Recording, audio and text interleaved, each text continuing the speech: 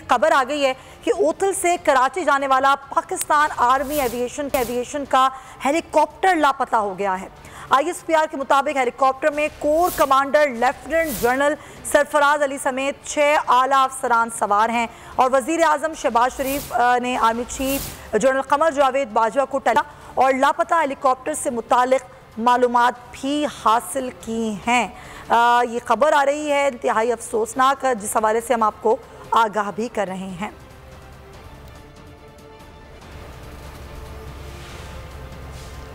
एक खबर आ गई है कि ओथल से कराची जाने वाला पाकिस्तान आर्मी एविएशन एविएशन का हेलीकॉप्टर लापता हो गया है। आईएसपीआर के मुताबिक हेलीकॉप्टर में corps commander lieutenant general Sarfaraz Ali समेत छह आला अफसरान सवार हैं और वज़ीर आज़म शहबाज शरीफ ने army chief general Qamar Javed Bajwa को टला और लापता हेलीकॉप्टर से मुतल मालूम भी हासिल की हैं। ये खबर आ रही है, इंतहाई अफसोसनाक, जिस हवाले से हम आपको आगाह भी कर रहे हैं। सब्सक्राइब करें और बेल दबाएँ ताकि कोई खबर रह न जाए।